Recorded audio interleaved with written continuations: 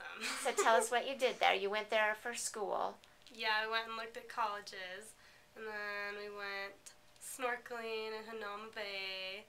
Had you been snorkeling before? No. That's why I But that was an water experience. bunch. but it was really cool. You look down, there's all these fish and stuff. So. Did you ever write a diary or anything about what it felt? That could be what you do. Just even in this Notice Dream Connect do. Yeah.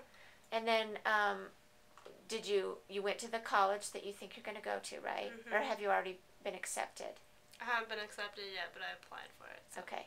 And you loved it? Mhm. Did you meet some people there? Yeah, it was great. I got to meet the director of nursing and all the teachers, and we went into this thing, and they actually have these like robot things that you practice on, and they have like real skin, and Oh they. I guess they're like two hundred fifty thousand dollars and stuff. But they let us like put IVs in the veins in the arm, they let us like do a trial run, try to figure out what was wrong with him, and take a tour of the campus. It was really cool. And the whole time you were just loving it? Mm-hmm.